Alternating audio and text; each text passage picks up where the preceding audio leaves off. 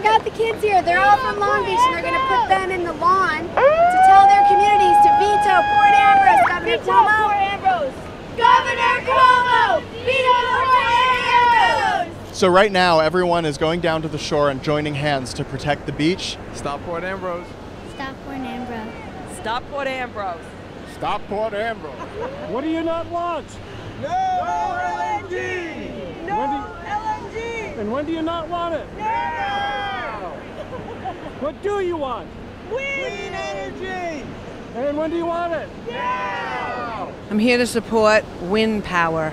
It's wonderful. We should do it, and to not have natural gas being built out there.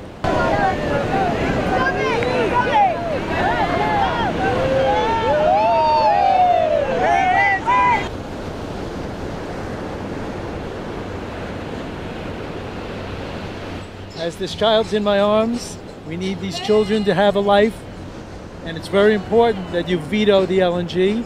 You keep seismic testing from happening and offshore drilling as well. Do not industrialize the oceans. We need them. They're important for the world. Uh, Governor Cuomo, we really, really want you to veto this project.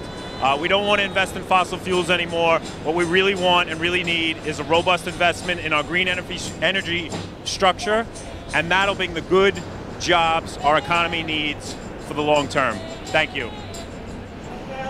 Okay, can you hear me, Long Beach? Okay, no LNG! No LNG! We've been speaking out and sending letters um, specifically to Cuomo to veto Port Ambrose.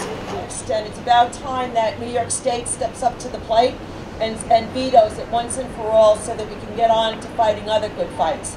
This LNG concept is now actually irresponsible. We have to all stand together and fight this from happening. It's so good to see our assemblymen here. The leaders up here are standing for a veto of Port Ambrose with everything we've got. Veto Port Ambrose. Support Long Island and Long Beach.